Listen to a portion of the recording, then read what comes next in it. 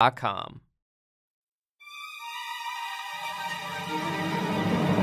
Yeah, the villain monologue is stupendously boring. It's satanic without being too satanic for TV. It's scary without being too scary for TV. And it's vague because the thing he wants hasn't been revealed in the plot yet. Right. So he's just like, I want to do the hokey pokey and turn my and turn yourself around and turn, let, let me finish. Don't do that. Stop. It- it's like an actor's in a fight with a producer and he's doing like an angry table read of a bad guy speech, but that's what we watch. God awful movie. movie. movie.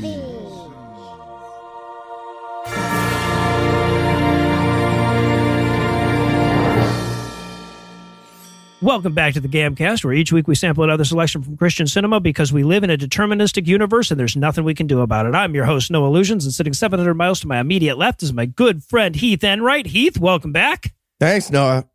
COVID is better than this movie. Having COVID is better than the movie we watched.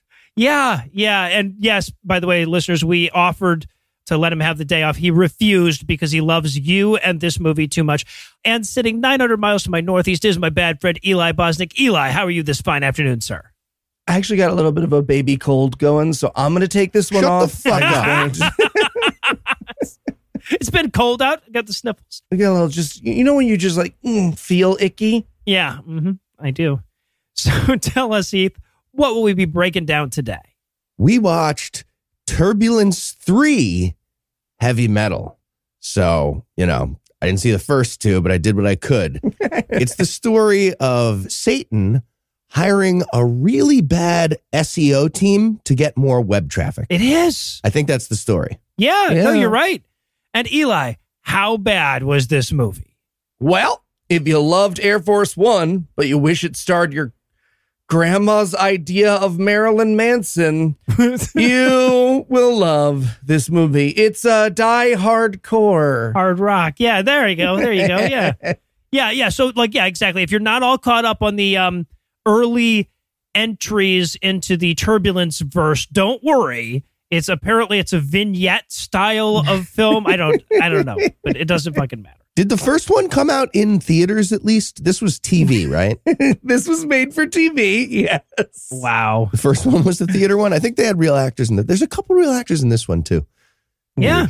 Yeah. Yeah. If, if you aren't caught up on this movie, it doesn't matter, right? It was written that's for true. you to turn it on at any point on TBS while you're sick. That's what this Yep. movie was written for. Hey, I did Oh. that except Tubi instead of TBS. That's fun. Right? Well, there, yeah, well, there you go. Technology's caught up with this film. Finally. Now your computer and you have a virus. so is there anything you guys want to nominate this one for being the best at being the worst at? Yeah, I'm going to go with best worst hostage negotiation. So the movie the movie does a hostage thing and the movie forgot that the bad guy would need to, you know, have demands. And instead mm-hmm. of like realizing that and then writing it in for that scene, we watched the bad guy try to improvise an answer, just being like, "What do I want?" Ah, and then they just move on and they never address it, and there's no ne- negotiation mattering. There's like three scenes of that. yeah. Right? We go back to that over and over again in the movie. It's bizarre. Yeah. If this movie was a comedy and the guy who was the negotiator like has to work off the manual for hostage negotiation and we're intercutting him like frantically flipping through pages, these sequences make sense. Otherwise, they're fucking insane. Yeah, well, that's the thing too. It's not just the guy. It's not just a terrorist who's terrible at this shit. Yeah. So okay, I'm gonna go with best worst computer screens. Whoa. All right. So I feel like 2001, which is when this movie came out, real high watermark of vaguely aware of what computer screens look like, but not aware enough for it to stop being silly. yeah. Right? Because like before that, you just had so very silly. Right. You just had like, you know, weird cartoons or some shit that was drawn in later or something. It was nonsense what they used to put on computer screens. Or there'd be somebody programming, but it would all be in binary. yeah. The hacker with a keyboard that's just a zero and a one, just a Yeah. giant zero and a one, just tapping away. But by 2001, like everybody, like half the country was online at that point and all this shit. So like people knew kind of basically what computer screens looked like. So they sort of tried, but they they didn't really get it quite yet. And this movie has several just chef's kiss examples of that. Oh, especially when they get to the hacking part. It's yeah. yeah. Oh yeah. fucking dumb. There's a lot of your dad ducking into the computer room to see like you playing Doom over your shoulder to be like, all right, that's what computer screens look yeah, like. exactly, exactly. And I'm going to go with best worst Australian release date. As Noah mentioned, this movie was released in 2001. and while it's true, this movie was released in the US on TV in May of 2001. It was released in Australian theaters on September 12th. Oh, of no. 2001. Yikes. Feels like someone really dropped the ball on this Yeah. one, huh? Yeah. Or they were like, this is so fucking good, we have to push through. We're doing how it. topical. We're how sticking with topical is Turbulence that? 3. They would want us. They would want us to celebrate their beautiful Turbulence series. This is what the terrorists want to cancel Turbulence 3 you know what? heavy metal. Let's roll. yes. All right. Well, yeah, well, let's let's oh god, wait, let's do the hustle. I believe is the term you're looking for. Yeah. Oh my God, yes. All right. Well, so my seatbelt isn't buckled and my personal electronics aren't set to airplane mode, so I need a minute before this thing takes off. But we're back in a flash with all the dawdling action of Turbulence Three: Heavy Metal. This episode is sponsored by BetterHelp. Okay, ready? Yeah. All right, go for it. All right. So the thing you need to understand about Black Lives Matter. Nice. Hey, Heath, did you just um? Did I just see you catapult Eli out of the window? I did, yeah. did Did he say "hoomst" again? No, no, no, no. We were working on our newest invention, the holiday stress be gone. It looks like an ordinary dining room table, but when a family member starts to say something dumb, then boom, right out through the window. I see. And and what if people can't afford the holiday stress be gone? Any recommendations for how they might deal with holiday conflicts? I mean, they could try BetterHelp. Eh, What's BetterHelp? Seriously? Yeah. Yeah. I landed on Lucinda's car, cushioned my landing, so I could get back. Great, great. So, as the world's largest therapy service, BetterHelp has matched 3 million people with professionally licensed and vetted therapists available 100% online. Plus, it's affordable.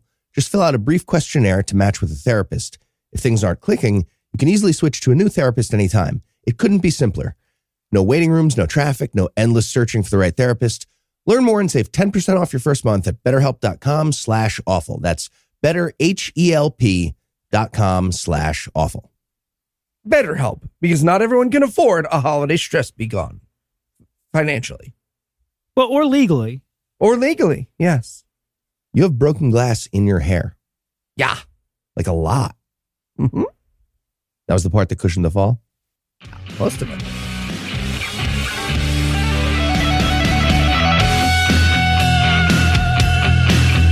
Hey, podcast listener, do you like podcasts?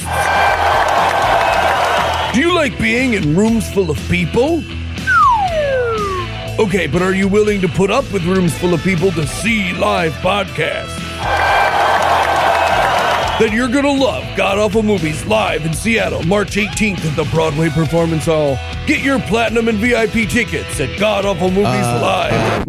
Live show voiceover guy. Oh, hey Heath, what's up? How's your COVID? Um, yeah, I- I'm okay. So we're out of VIP and platinum tickets. They sold out like two hours after we released them.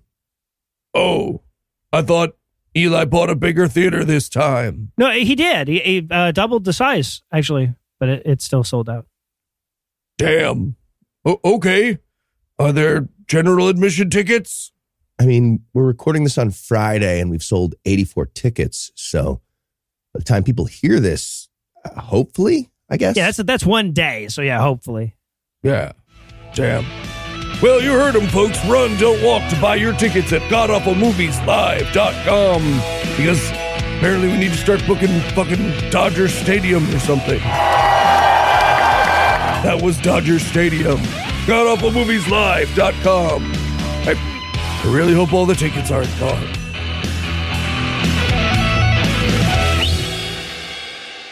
And we're back for the breakdown, and we're going to open things up at LAX, where fans of the rock star death metal sensation Slade Craven have arrived in force. That's the name is Slade Craven. It's all downhill from there, guys. Can we just say best worst fake name in a while?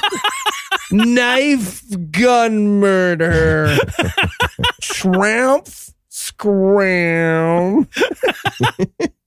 I don't even know if it's the best worst fake name in this movie, but we'll get there. We'll get there. Also, are we going to say arrived in force? Well, that's no, it's like there, so. There's like a group of slave. I, I'm not saying his name. That guy, the band guy. A, a group of fans have arrived. It's a very small group, and there's also like a counter pro. There's like a protest, and they're a counter. I I don't know who's protesting what, but there's two sides: fans of him and then anti him yes. guys, and they're so tiny. It's like 12 people on each side, yet there are riot police. And and it's exactly the same numbers. Yeah, right. Yeah, right. like the little- riot police are the biggest riot. There's like 50 riot police. with the shields. yeah. No, I love it so goddamn much. There's a news reporter there that goes like, you know, his his music is about death, and you know what with all the mass shootings, that doesn't sit well with conservatives. I'm like, oh, you can tell it's fiction because conservatives care about mass shootings in this universe. yeah. Does this music cause mass shootings? Probably. It's not like we recently started repealing gun laws at the state level and desperately need someone to make an excuse for why we're allowing mass death as a result. yeah, yeah, uh-huh. Yeah, they're pretty confused about the sides of this politically. Also, and it gets worse here, we see a sign from one of the Christian right protesters here, and it says metal equals arrow sign, kind of both at the same time, like metal with an arrow to a swastika, which What?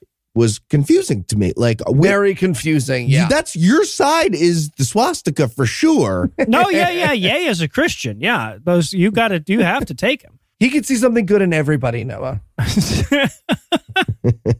so, but yeah, so but then Slade Craven arrives and he is he's Marilyn Manson, right? Like that's obviously who they're going for with the makeup and everything and the image. Yeah, Yeah, that's what they went for. But they seem to have landed on exactly, yes, Marilyn Manson makeup wise for sure. But the band's theme in general, I would call vampire pirate gimp Okay. combined Yeah. All mm-hmm. together. Yeah. Wait, and I feel like that was like a big argument, you know, where like everybody gets to put in one idea into the idea jar. Less spilling. tastes great. Yeah. And then some mom was like, we're using all of them, equal compromise, vampire pirate gimp. It's like a bunch of grandmas got together to contribute what they thought Marilyn Manson dressed like at concerts. Yeah. Well, he's probably like a snowman and a sex pervert and also a ghost. Lots of buckles. Lots of buckles and a button nose. Nope, no. Have you met Aaron Ra? so, and then we get probably, I'm going to say, the weirdest scene, the weirdest single shot in this movie, right? Because we're about to meet the broadcasters. Now, what we learn here is that Slade Craven is about to do his final concert ever, and he's going to do it aboard an airplane of all fucking things on a live web broadcast. Which is the stupidest It's idea. so fucking dumb. Unbelievably dumb. the movie might as well no one in the movie ever asks why or says why because the answer to that is well because it's turbulence You're right. Yes, exactly. and the first Because our two contract was to- turbulences were on You can have plane. turbulence not on air. Things can be turbulent, not on air. Whatever. That's a terrible idea for a concert vent. That's just a really long, narrow concert party in a line. small Yes. small concert party Yep. You know how concerts have too much leg room?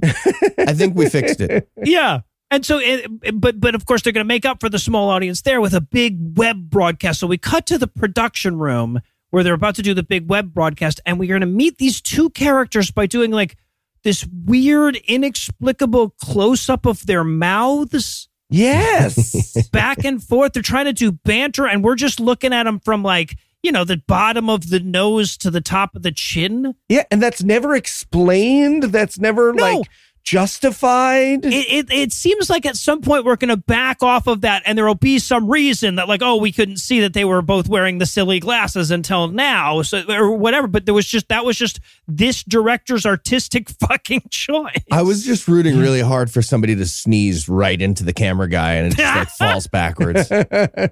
you think maybe they just that's the only lens they brought that day or something They're like well, Oh, fuck it man we gotta oh, make gotta get something done all right but anyway so we also learned here that uh, we're gonna we're gonna meet erica who is the web broadcast interview girl who's gonna be on the plane right she's gonna be a major character and she's gonna like give us a little tour through the rock concert airplane yeah.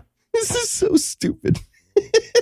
Well, at one point she says, you know, this will make the fir- this will be the first live internet broadcast in history. This was 2001. The first fucking live internet broadcast was a, a Yankees game in 1990 fucking five, right? It's not like they Mm-hmm. needed to really know their history for this shit. Ooh, the Yankees should play a game on an airplane. That's what. Turbulence Yes, their final game. Yeah. Yeah, and she's she's walking through it and she's like, it's like no airplane you've ever seen. And I wrote in my notes, I bet it's a little like an airplane I've seen.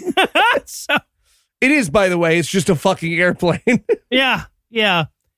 All right. So then we cut back to the the reporter from the beginning that was explaining the plot to us. He is now going to interview the director of the FAA, who, as we all know, works in an air traffic control tower. That's that's the same thing. Yep. To, to be clear, biggest one. air traffic control granted an interview with a controller during his shift. yes. And he's also the director of the He's, he's in the middle of pushing tin and there's like beeping things going on and he's like, Yeah. yeah, no, it's I yeah, I don't know. They, they wanted to do a concert on a plane. This is so dumb. I don't know. Well, Heath, this is obviously brain fog. Let me explain it. Uh, this is very, very normal. Okay. See, he's not he's not directing the planes. He's the head of the FAA. He's directing all the towers that are directing. There's a there's a tower directing tower at the center Oh, there's of a the really earth. tall tower Right, in like no, the middle it's of really Kansas. big. or Tower something. traffic control tower? yeah, it's a tower traffic control tower, which of course is controlled by the president. Got it. That's who's in his ear. But that's not the dumbest goddamn thing about this character. The dumbest his his name, the character's name is Mr. Stop Now. Because he's because he's the head of the FAA. Because you go at the end, you have to. It, yeah, that's actually what they went with. Hey guys, were the character names in this movie written by me trying to come up with puns at the end of a citation needed episode? Because it sure feels like that. The villain's name is Craven Raven. Okay. Also, in the movie's head, does air traffic control tell pe- to pilots be like, "You stop, stop now for a second, just Stop stop, Stop now. stop right, wait, just wait, wait right there." And now you go. Wait Yeah, right there. Yeah, he should really have the he should really have the orange sticks, right? He should be that guy, Yes. Mr. Stop. Don't go backwards; you'll die like a shark. But stop. he needs big orange sticks though, because he's doing the other towers. right yeah well no so okay and then and now we're gonna meet the pilot and the co-pilot the pilot is nobody but the co-pilot is rutger fucking howard Rutger Hauer, he's a real actor. yeah and and you know what like because Joe Mantegna's in this i had this feeling constantly like Joe Mantegna's too good for this movie i never got that feeling with rutger Nope. howard you sure don't. Here's the amazing thing. There's a note that actors sometimes get when you have a small part. They're like, give your character a secret. This is how that note can go wrong because Rutger Hauer spends the entire movie acting like he's going to reveal some great resplendent plan, and he never. Don't be tricked by Rutger Hauer's performance into thinking he matters that much. He will not. Nope, not really at all. Yeah, but they say a bunch of pilot words and they talk about, you know, not liking the music that Slavin Craven or whatever makes. Yeah, right. The, the the the pilot doesn't like you know kids and their music, but Rutger Hauer does like it, and he says it reminds me of Nam. It never stops. What? What? Yes. On both ends, right? So, so the war didn't stop, or the music doesn't ever. The stop? music doesn't stop. And also, hey, if you're hoping that'll ever be revisited or mentioned again, nope, it will not. No, the, the the fact that he was in Nam, the fact that he liked to be no, none of that ever matters in any fucking way. So, and now, of course, obviously, we would check in with the FBI's anti-hacking department. Yep. I got. I was so ha- whenever they do hacking in any movie, yes, I'm like, the yes, word hacking is bring it just in. one of those. This is awesome. I tuck it right into my keyboard. This is going to be stupid. Oh yeah. So this is where we meet Joe Mantegna. He's the FBI boss or whatever. And this is also where we meet Kate, the FBI hacking agent, who has finally found her arch nemesis, the super hacker Spectre. Yeah. It turns out he was on level 11 of Pac Man. So, So, okay. Yeah. So this is the first time where my best worst shows up, right? Because she's like, let's track him on this using the tracking software. And this map comes up, this 3D city map. But it's insane. There are no like they- there's it's just random buildings in random places. There's no semblance of roads or city blocks of any sort. Listen, th- this guy Spectre, he uses the same technique as Dominion voting to cloud what he's doing. right. you don't know where the votes are going and where they come back to. right? No, you can see the map, all the different attacks. Yeah. As they're trying to trace him, she says he's routing. I think about this sentence six times a day. He's routing through dormant websites. you know how websites go to up. sleep when you don't need them? They cocoon, actually. He's he's sneaking through there, blowing the dust off of their ones and zeros. the hibernating ones. Yeah, exactly.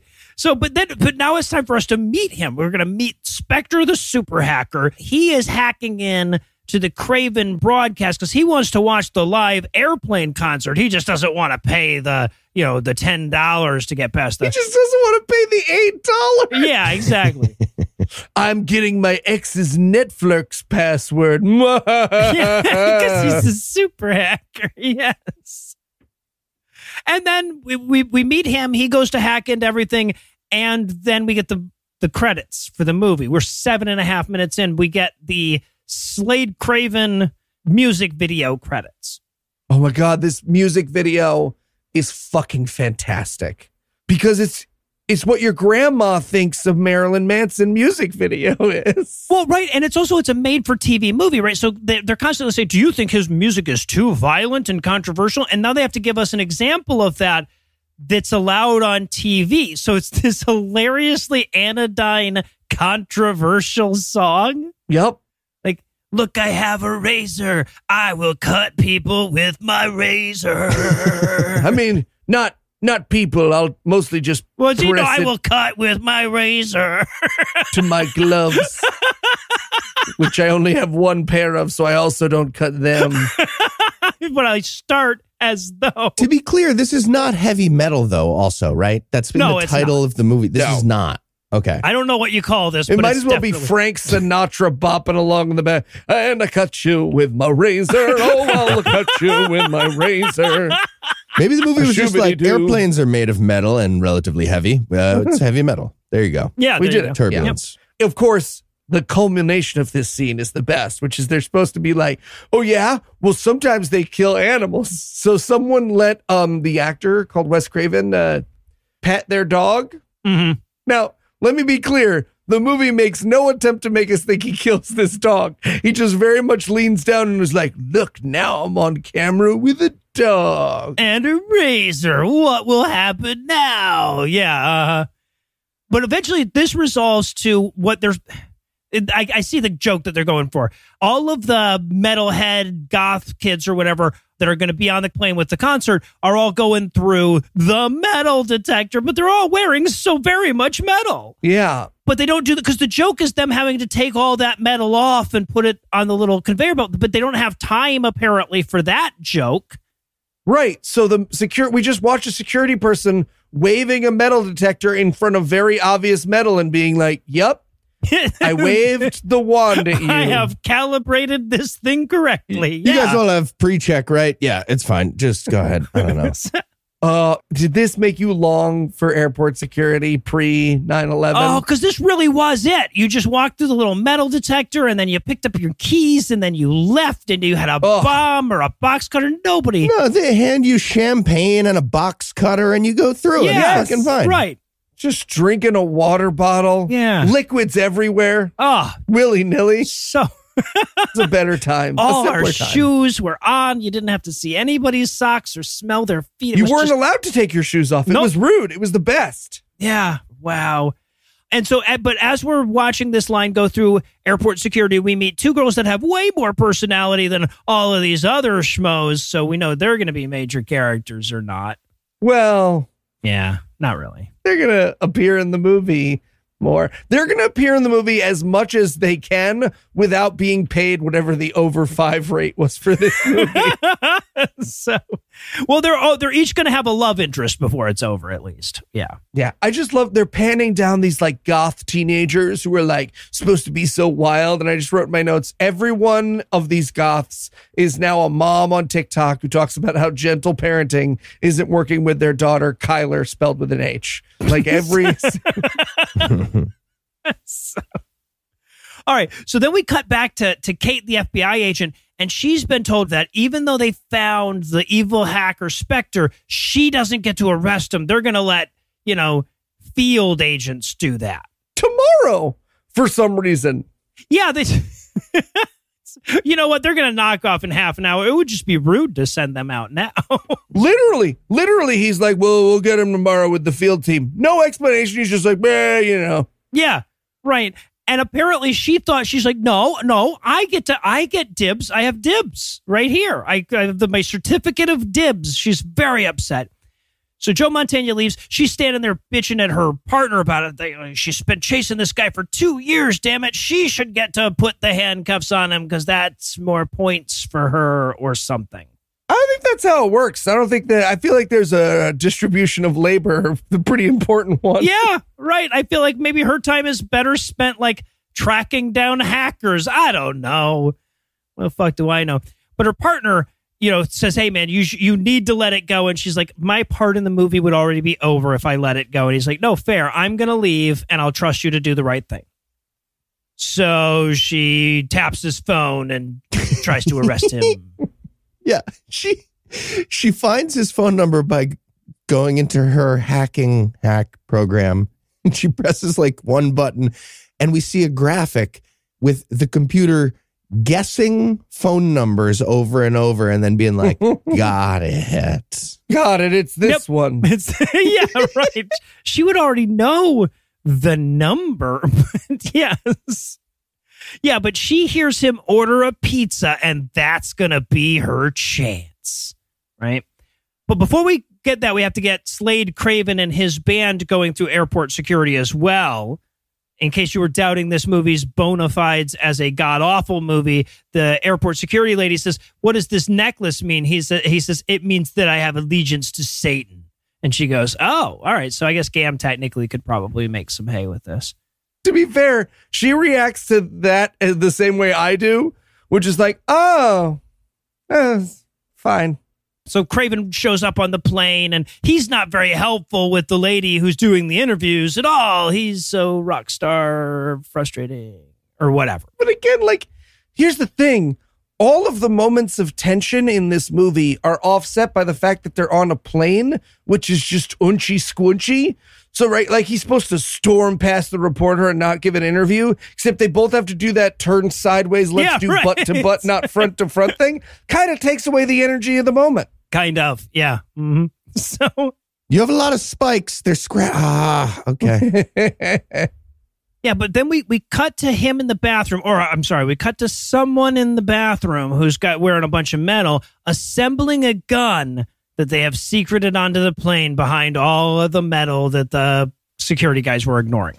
Behind his musical shin guards that apparently Yes. he wears. Mhm. Why is that a thing? I feel like that's standard.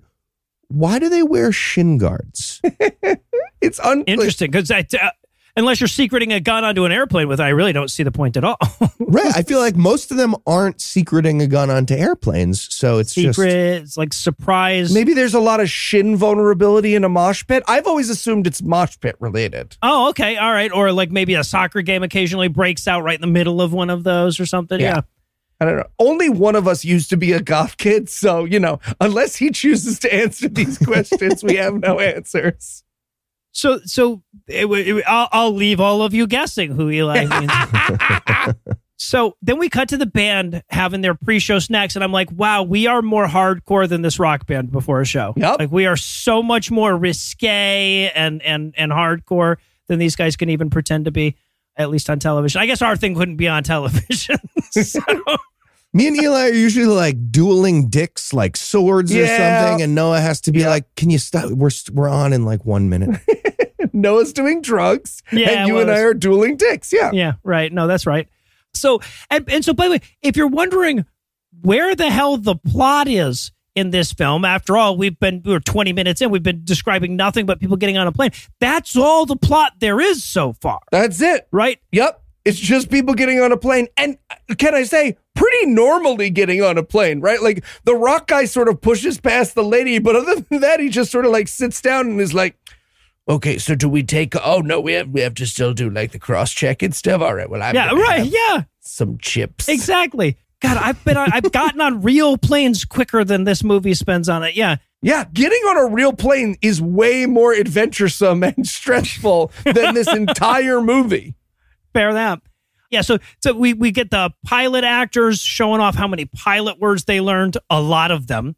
We get the flight attendant trying to give her safety lecture, but these metalheads won't even listen. They start chanting Craven over top of it. Yeah. But finally, at long last, the plane takes off. The movie can get going. And I guess like Craven and his band decide that they're going to start playing their concert even before the plane levels off at 30,000 feet. Because they're, they're so metal. They're so metal, they went to the bathroom even though the fasten seatbelt sign hadn't been that's turned off yet. it. Literally the plot of the movie at this point. the plot of the movie is like, well, people could could fall over and hurt themselves yeah, exactly. at this heavy metal rock concert we're having. And they don't even care. Yeah. People trying to rush the pit, and then somebody coming the other way with a cart. No, no, we're doing coffee service now. You have to back, oh. it up, back it up, back it up. Can I just can I step into your seat No, aisle? no, oh, no, no. No, Okay. you just keep backing up slowly. Maybe you you go past. we're gonna show all of this. Can I use the bathroom at the front? No. Or do I have to have use to- the one? yes, I you have gotta use the one in the back. Okay. Do you have to go to the bathroom for real? I'm Satan worshiper. So yeah, so but everybody goes running towards the stage, even though the captain hasn't turned off the seatbelt light. It's pan fucking monium. And the Erica is is interviewing Erica and her cameraman are interviewing some of the attendees, right? This is where we get I have her down as main character girl because I still thought that there might be a main character in this film at this point.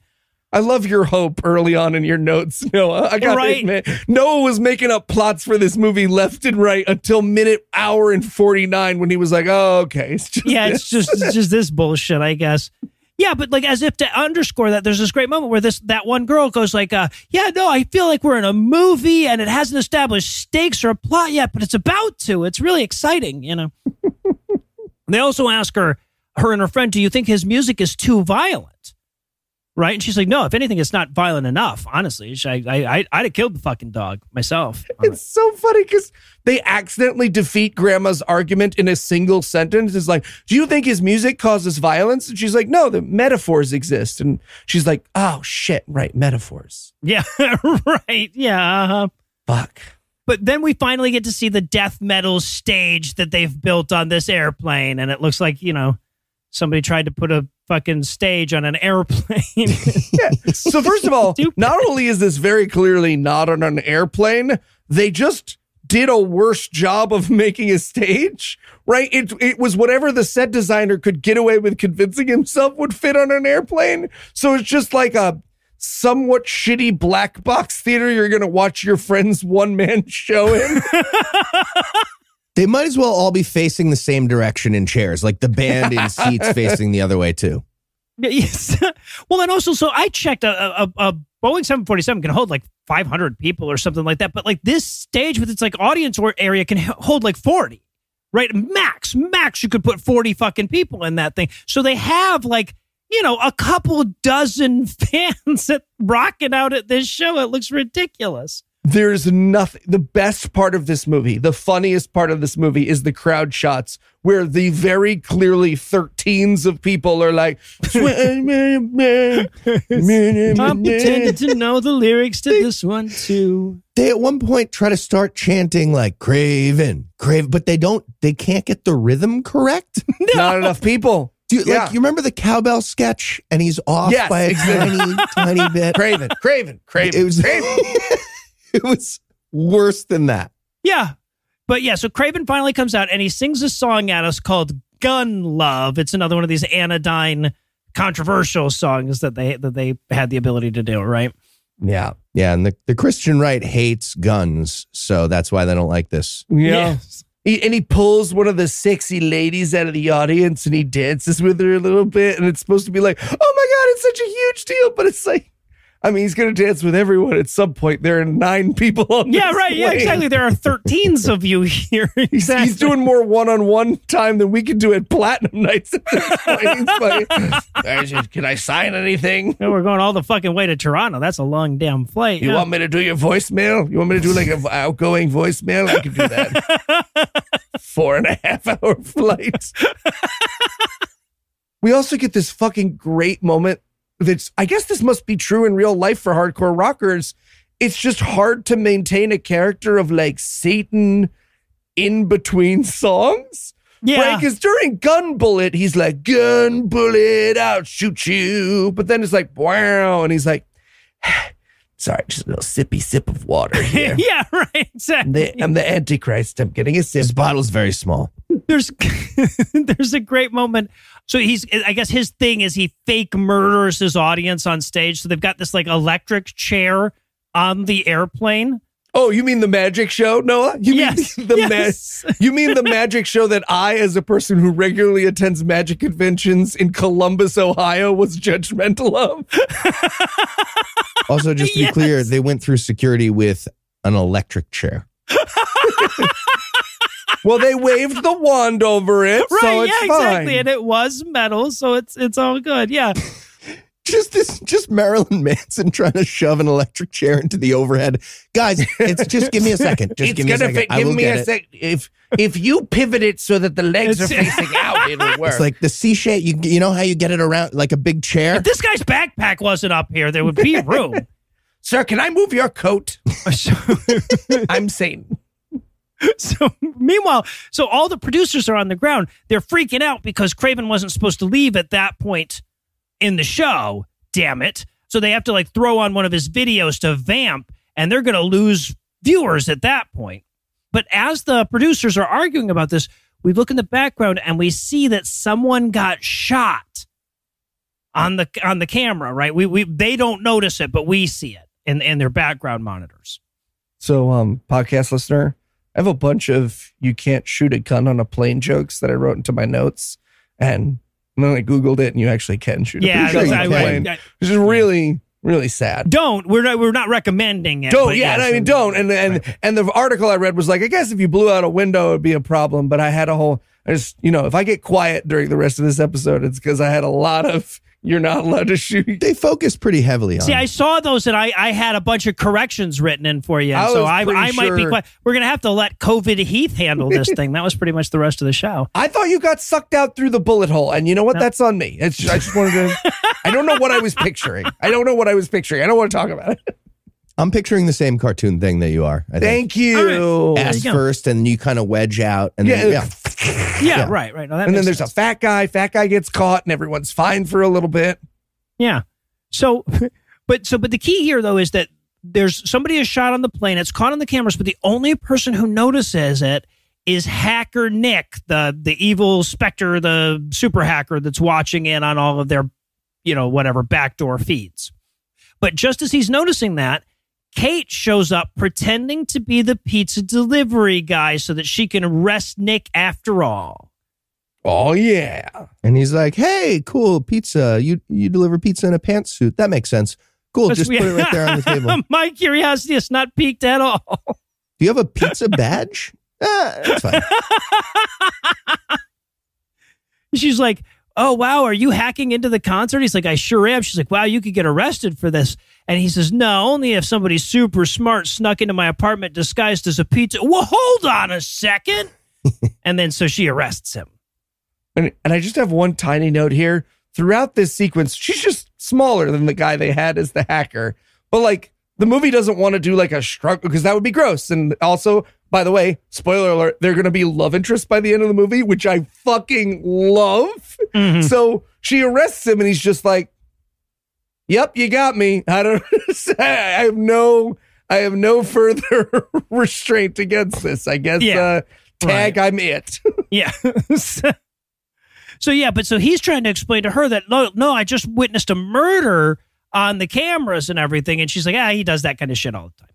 Meanwhile, we cut back to the producers, and because Craven hasn't come back out, they're losing viewers, which we know because we pan over to their losing viewers animation.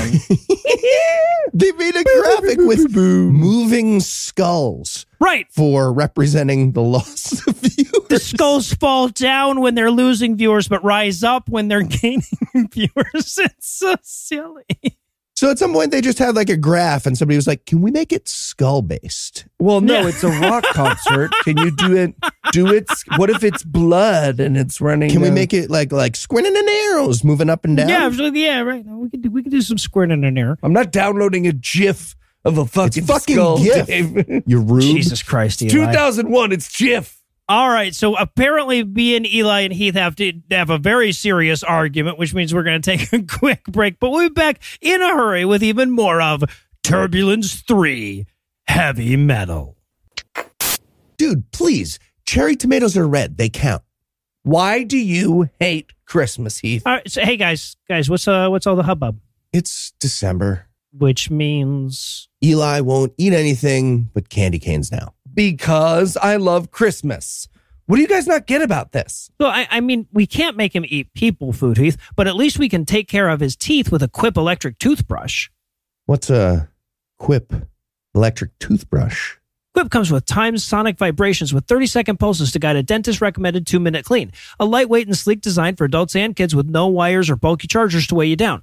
Plus, a multi use travel cover that doubles as a mirror mount for less clutter. Reusable handles in a range of sleek metal hues, including best selling all black and all pink, as well as bright plastic colors to pop on your bathroom counter. Wow, that sounds convenient. Trust me, you've got to try it. Go to getquip.com slash awful right now for your first refill free. Plus, shop Quip's lowest prices of the year this holiday season. That's G-E-T-Q-U-I-P dot com slash awful. Quip, the good habits company. Hooray! Christmas is saved. Will you at least chew them this year? No, Please. no. Slade. There he is. Whatever. God. So, um, so you, you want to talk to us about your ideas for the farewell tour?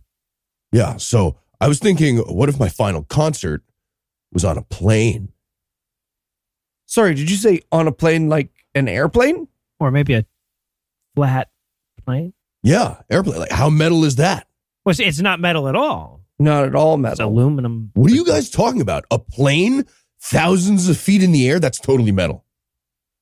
I mean, we, we, like with all the safety guidelines? And the little seat belts? I feel Yeah. like you're not picturing it. Are you talking about an airplane? An oh, airplane. no, no, no. Okay, I, I see the miscommunication. We're, we're going to clear out part of the plane and make it a concert venue.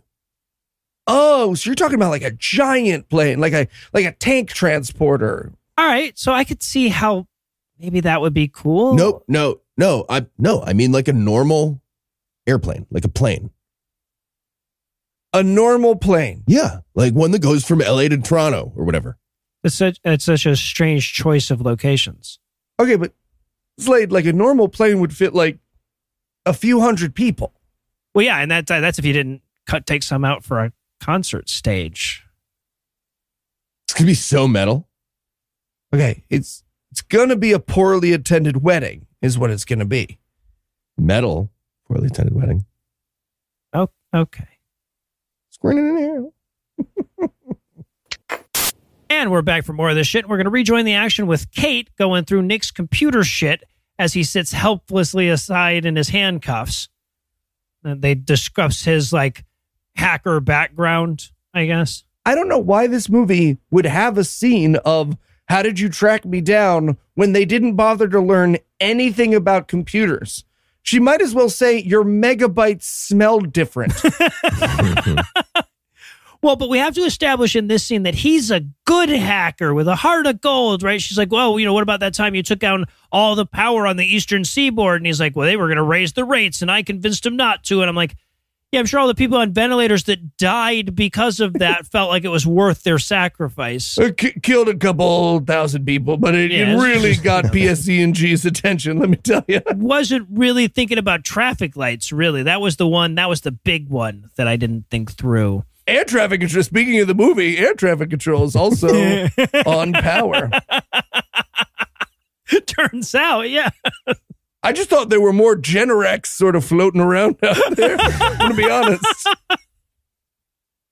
Yeah. So, it, it- and of course, she's like, well, that's against the law and that's evil and that's bad. And he's like, well, how'd you find me? She's like, well, I hacked into. He's like, ah, ah, we both hacked. We are even now. And she's like, shut up. And to emphasize that point, she takes out her gun and holds it to his head. Yeah. And it's it's very much supposed to be a comedy beat, but the actor doesn't play. He's like, hey, hey, don't shoot me in the head and murder me. And she's like, right, sorry, sorry. Yeah. I was pretending to be a cop. I'm actually not supposed to be here, but I am pretending to be a cop, so I figured. I don't know why they would even give me handcuffs if I'm not one of the arrestee. Why would. I have a gun? Why would I have a gun? I am on a computer. It's my job. To shoot someone's computer. But meanwhile, back on the plane, I have no main character girl because I, I have no other name to call this person. It's okay, Noah. You had high hopes for this I character did, to I speak did. again before the literal last seconds of the movie, and I'm proud of you for that. I'm proud Yeah. of you. So yeah, but she's flirting with the cameraman. This is where she tells him that she wants to be a journalist when she grows up. That's that's going to be important to that to that final moment. But then Erica, the interview chick, comes in and she's like, "Hey, you need to get your ass in gear, cameraman, and go get Slade Craven and make him come back and do the rest of his show." Right? Yeah. So he goes back into the back and he's like, "Hey, Slade Craven, do the rest of your show." And he's like, "No." And he's like, "Yeah, I mean, I, Why would you listen to me? I'm literally I- a I'm cameraman for a local news news organization. Yeah. Yeah, I mean, I don't really know what I'm doing here either. would you like me to fly the plane while we're at it? Like, is there anything else that's very clearly not my job you want me to do? I tried to restart it, and there's they're doing the coffee service. It's it's going to be like ten minutes. So meanwhile, so but Nick the hacker though has convinced Kate to look back over the video that he saw of the person getting murdered on the plane, right? So we see that. In slow mo, Yes. as if like we watch we watched it before. It's a guy getting shot in the back of the head very clearly. Like the slow mo add, does not add anything. It- oh yeah, no, it's still definitely a murder. Yeah, And it's hilarious because he goes like, "Does that look fake to you?" And I'm like, "I mean, yeah, yes. Yeah. It looks like it's It's a- because there's no blood. It's on TV, Made for so- TV movies. So yeah, looks really fake. So then we go back to the cockpit, and Rutger Hauer says to the pilot, he's like, hey, man, you should probably check things out back there. You know how sometimes the pilot has to just walk around in the plane and make sure that it's all still together and shit. And he's like, yep, I got to do good my togetherness check. I will be back. You're gonna go kick the tires from the inside of the plane or whatever? Yeah, so they're drawn up. They're drawn up in now, like like testicles in the cold. I was in Blade Runner. We know, man. You were in Yes. Blade Runner. I made up that monologue. You you made up part of it. I made up. so so we watched the pilot have to like wrestle his way through the mosh pit and everything. And he seems he seems surprised at the mosh pit, right? Not just upset, but he seems like, but I mean, no one told me there was going to be a rock concert going on in here. Right, yeah. uh-huh. But while he's out doing that, Craven comes back out for the second song, finally. But he doesn't start singing where the lyrics are supposed to start. One of the guys cut, turns to him and is like, hey, man, this is the part where the lyrics start. And he's like, I'm sick of lyrics. I want to shoot somebody with my gun instead. And everybody screams and they're all excited because they think it's part of the show, right? Because that's what he does. Okay, this was almost my best worst, which is best worst not realizing how many people have a gun and how many people don't. because he will now, for the next, what are we going to say, 20, 30 minutes of this movie, hold the entire plane hostage, even though all it would take is more than one person running at him. Yes. Uh huh. But eh, so he he's like, uh, who am I gonna shoot? I'll shoot the pilot, and he shoots the pilot, but it's a blank, right? And everybody's like, oh, whoo. And meanwhile, we check back in with the producers, right? The guys doing the live broadcast, and the views are going crazy now. He's up to four million views, which means that there were millions of people who were like, you know, I'll pay eight bucks for this stream, but I'm not going to do it until I hear through the grapevine that Craven has come back on stage for his second song and pulled some very serious shenanigans, Yeah. right? Yeah. What? How would they know if they weren't? anyway? But yeah, but the, we, we see their little skull graphic. It's going the other way now. Four million viewers, Yeah. and then Craven shoots the pilot to death for realsies. Yeah. I just want to throw out there that I really hope Taylor Swift does this at her upcoming farewell tour. I think this, I think this is a great bit for your concert. You fake shoot someone, then you real shoot someone. And then you're because nobody's expecting you to real shoot him right after the fake shooting. yeah. Which means, by the way, that he added a blank to his gun for like nothing but dramatic effect. Right. For like a a comedy beat. Yeah, right. Yeah, exactly. So, okay. So then we get a scene where everybody realizes that no, the pilot is actually for realsies dead. This is where Kate realizes that, you know, because one murder, that could be anything. Two murders, you should probably call your boss at the FBI about it. Yeah. Look, there's a behind the scenes murder at every concert. That's just Right. showbiz, yeah, exactly. baby. exactly. But That's just a regular guy. This is the fucking pilot. on stage, come on. Yeah. Uh huh. And she calls her boss and she's like, Hey, boss, uh, first of all, I arrested that guy by myself, even though you told me not to. Two, I would like you to take me seriously as I inform you there's a murder happening at a rock concert that has, and I can't emphasize this enough, nothing to do with our plot so far. Yes, right. Exactly. It's a good thing there's apparently no specialization in the FBI. Everyone in the FBI is working on every case on the On FBI type at all case. times. So yeah. So all right, and and we cut back to the airplane, and then we get Heath's. Be- well, I, I guess this isn't quite Heath's best worst, but this is like the start of it because like Craven has to vamp. He needs a monologue to have now that he's taken the the plane hostage or whatever, but he has nothing to say. Right, so he just sort of just vamps for like five minutes while he's pointing guns at everyone. Yeah, and it's again, it's supposed to be like scary Satanist stuff, but this has got to play on TNT while grandma slowly falls asleep and dies in her chair. So he's like, I know you all are gonna go to forking heck. you better get ready for some real bull pucky around here. Yeah, yeah. Yeah. He's like, Do you guys want to play a murder game? And then finally, one of the crowd is like, I don't want to play a murder game. And he tackles him. Right. And everyone else just stands there and goes, Boy, I sure hope he gets, I hope he wins. Rooting for you, buddy. Rooting for you. Let me know if there's anything I could do to emotionally support you in this time. yeah. But ultimately, Craven wins the fight because he's pretty badass. And he pulls Erica out of the crowd and holds his gun to her head. And he's like, If anybody else tries to push me, I'm going to shoot this girl in the head. to be clear, he does not shoot the guy who just tried to stop him. No. He's like, hey, hey, hey, all right, that was your one. That was your one. Okay. You helped me out earlier with my magic show in the electric chair. So I forgive you for trying to disarm me and end my terrorist reign of terror. Yes. But if you do that again, totally going to shoot you. okay, well, there's this, it's a five strike system. But if you, if you, you are one down, that's all you need to know. yeah. So, but it, and this is where the producer down on the ground is like, "Hey, you know, we should probably not continue to broadcast this. We should cut the feed." And, and now the characters are just like, huh, movie, movie feels kind of over. Yeah, Do we, right. um, Do we want to do something well, that that really make removed all the stakes, I guess. the movie come back? We, we're only at like 30 minutes, guys. We need another Yes. hour of movie. And then we cut to um Kate Nick finally convinces her to uncuff him so he can get back to the like he can get the feedback with his super hacker powers. Right. Right. I wanted her to be like, okay, no, I'm I'm keeping you cuffed. Just tell me the one button to press. That's what you seem to do when you hack things. Right. Yeah. You're never more than six keystrokes away from anything. So, so okay. But then we cut to uh, we cut back to Craven holding the gun on on Erica, and he says he turns to the audience and he's like, "So, what do we do now?" As though the movie was asking us for ideas. Because now I'm just a guy on a plane with a gun in September of 2001. So Jesus. kind of yikesing it up here. Yeah. So, but Joe Mantegna and his generic FBI sidekick get a call from Benny, the producer guy, and they, they're going to go now and, and see Benny. They're going to like finish the movie off in his production studio. Yeah. and th- they're confused about this guy's like whole plan too. They're like, so does the hijacker have any like demands?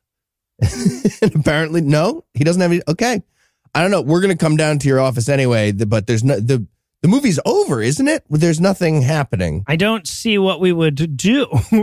so, oh, and then on the way, he has to chat with Mr. Stop now from earlier. Yes, he did come back. We see the two of them have a quick chat. This will matter not at all, but it'll set up something later. And then we go back to Craven giving us w- what I believe is a nobody knows where the fuck this movie is going monologue. Yeah, I wrote the villain monologue is stupendously boring Yeah. because it is both, it's satanic without being too satanic for TV, it's scary without being too scary for TV, and it's vague because the thing he wants hasn't been revealed in the plot yet. Right. So he's just like, I want to do the hokey pokey and turn my and turn yourself around and tu- let, let me finish. Don't do that. Stop. It, it's like an actor's in a fight with a producer and he's doing like an angry table read of a bad guy speech, but that's what we watch in the shot. like his mom made him do this table Right. read. Yeah. Sarcastic. So, but then we, we cut back over to the hackers. Nick has gotten the cameras back, but he needs to do even more hacking. So he's going to need Kate's help. Luckily, he has a second keyboard sitting next to his other one, so they can do like a little couples hacking. Yeah, and I wrote my notes here. Let me just say, if this ends up being a love story between the two hackers, consider me charmed. I spoiled it already. I'll spoil it again. That is what happens. This Yep. subplot fucking rules. Not enough of the nerdy sidekicks fall in love. That's the trope I want to bring back. Amen, brother. So, and also we should point out that like because this is again this is Turbulence three, right? But the movie the like the turbulence never factors into the movie, but they keep showing the exterior of the plane and be like, "Oh, we're flying through the storm from day after tomorrow now." But like, but nobody on the plane ever seems to notice that, right? It's Nope. not relevant to the plot. Also, by the way, they have her log into the FBI computer system to like find out some information about the Mhm. people on the manifest. And we watch her type in her password. Her username is her name, just spelled Mm-hmm. out regular. Password six characters oh wow! for the FBI computer system. Mm-hmm. and then they have their like but it includes the capital letters. their hacker meet cute on the, the two side by side keyboards like a tandem bike. Yeah. exactly. They should have just used one keyboard and it's like ASDF JKL semicolon. So- all right, but who space bars? We space bar together, baby. They start crossing So- over hands like they're doing piano. Yeah, there you go.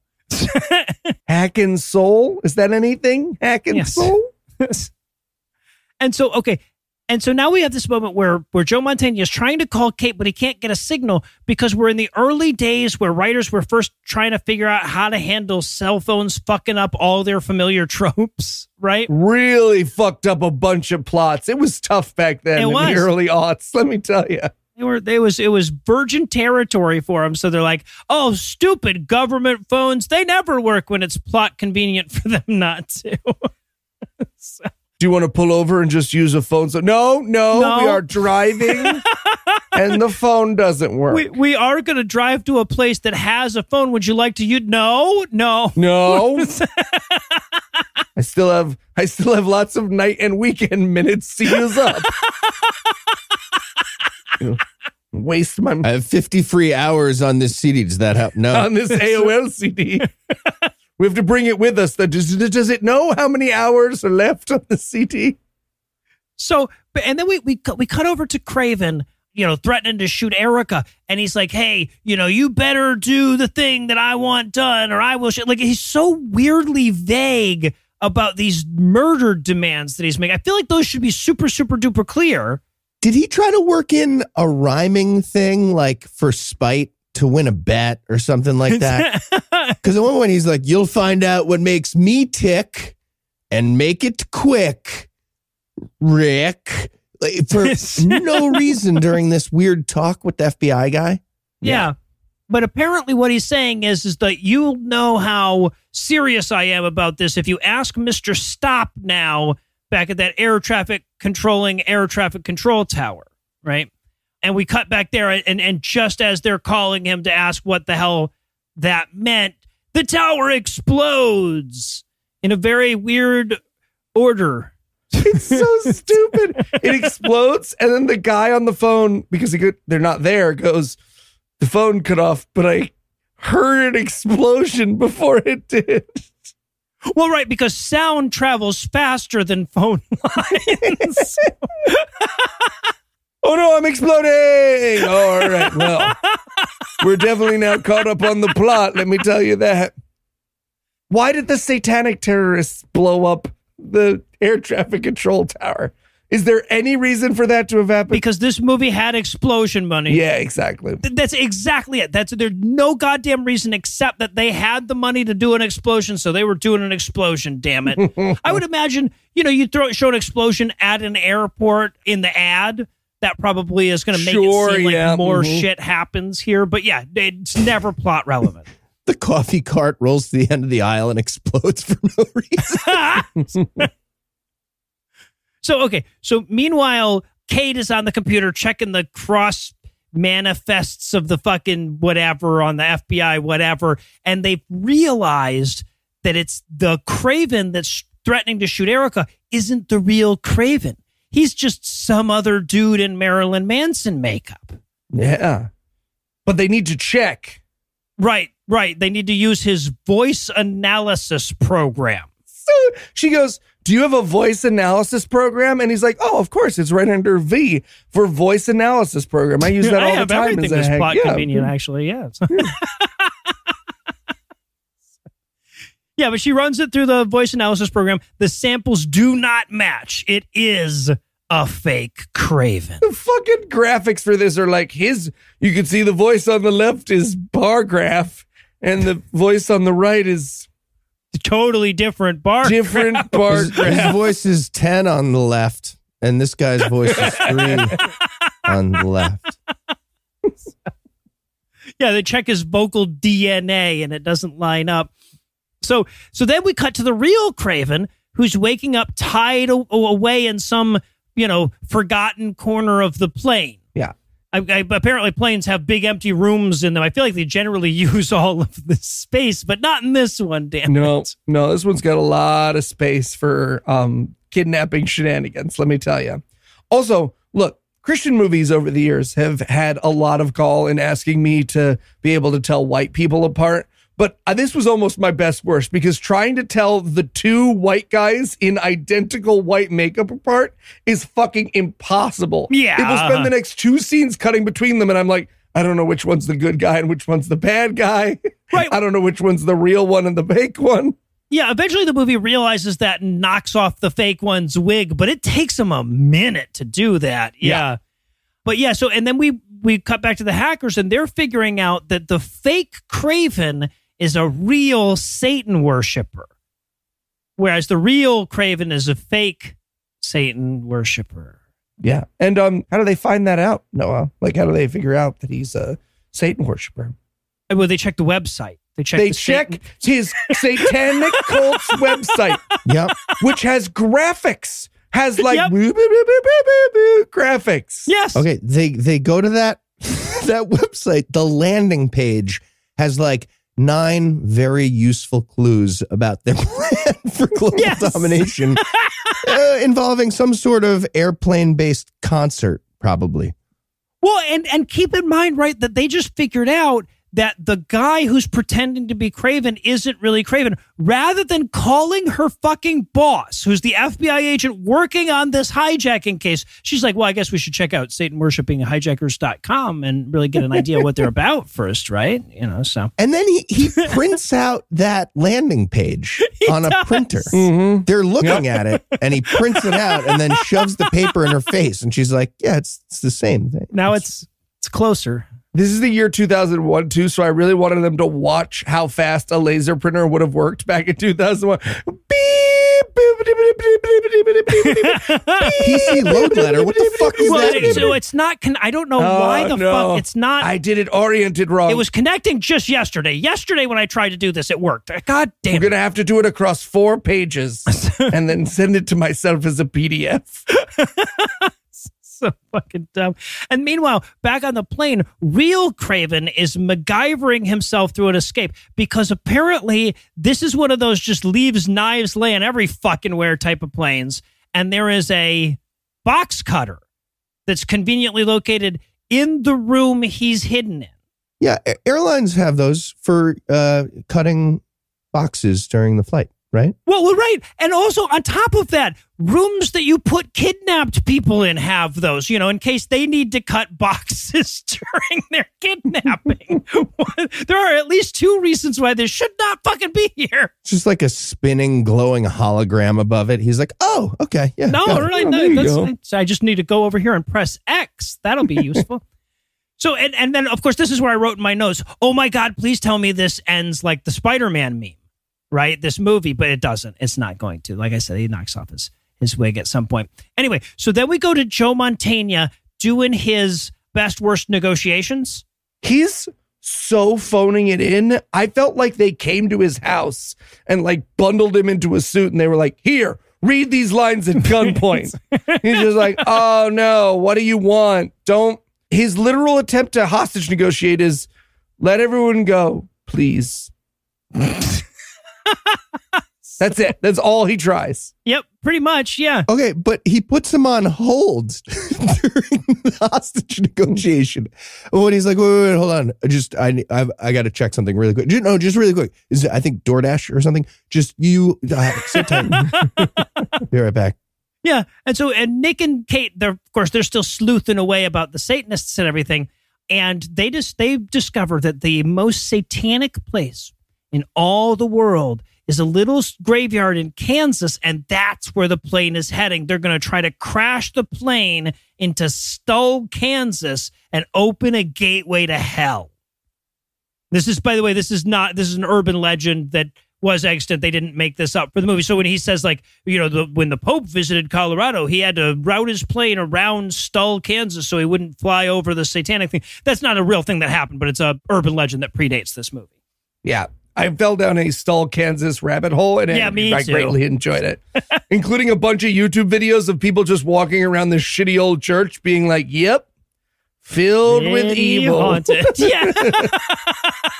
Okay, so the idea is there's a gateway to hell there, and they were picturing like like an airplane shaped cartoon hole going into the ground, and then like a demon popping his head out, Like- being Right. like, "Oh my god, they found us." Hell being on the other side of And then Satan bursts through it and he's like, You notice how there's no plane parts on the ground around here? That's weird, right?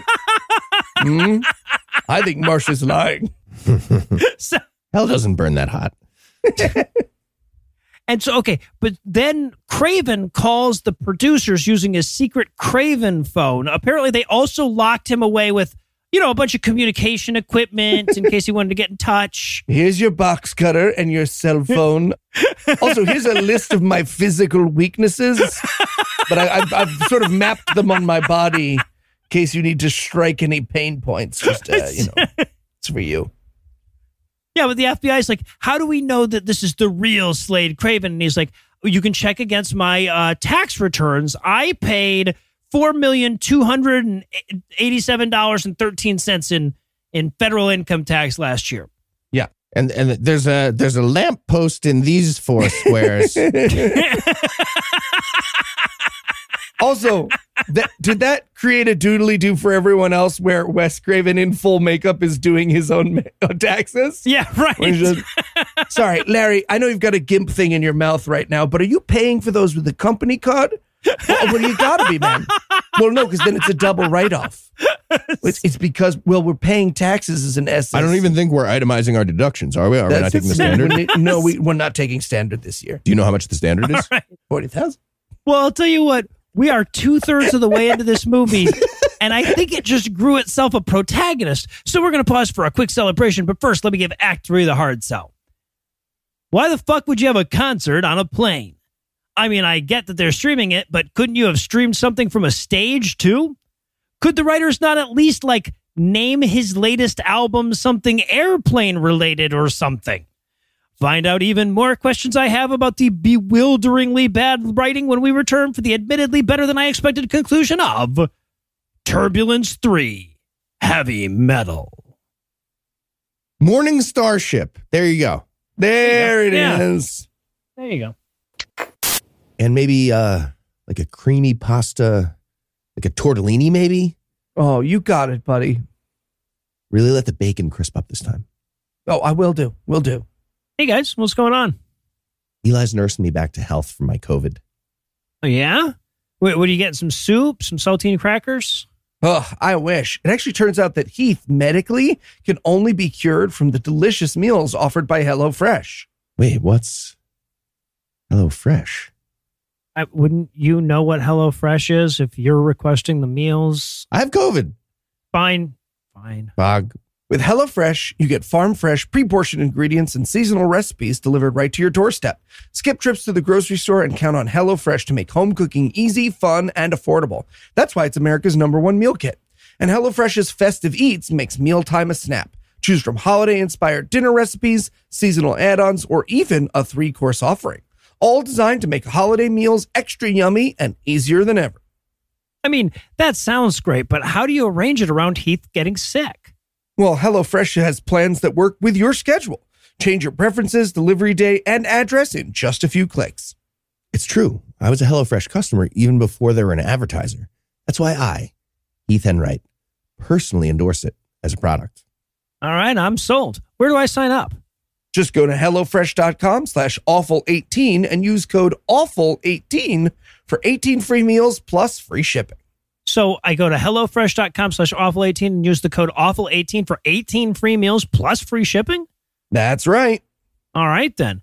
I mean, I I, I, I never heard of charcuterie boards for COVID before. Up, but, up, up, up. COVID. Sure. Yep. Also, I'm low on Parma ham. Can I get a top up real quick? You got it, buddy. Do we have any jamon?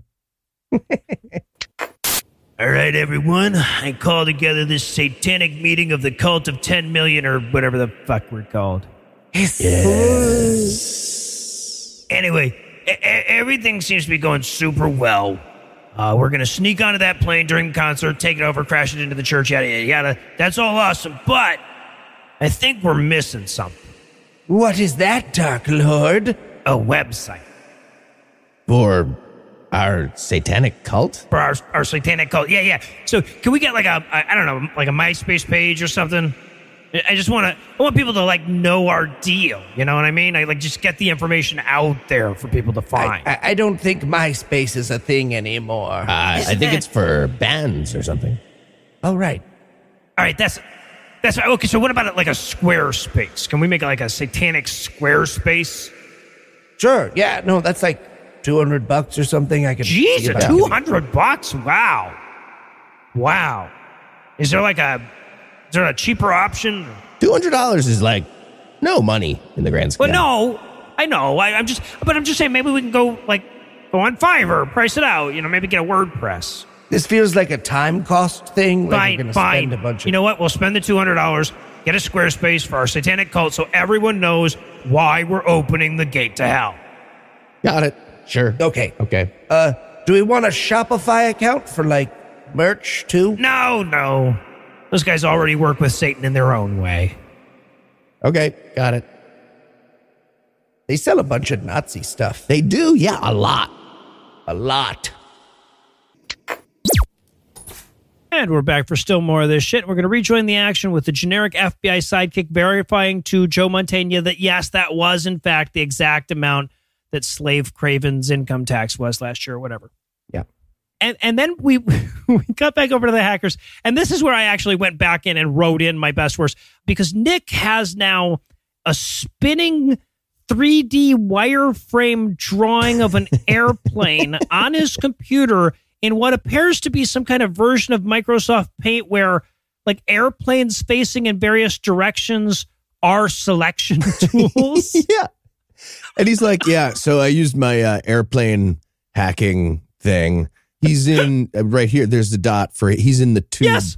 part. right? Yeah, what fucking information does that give them? He's in the tube portion of the airplane.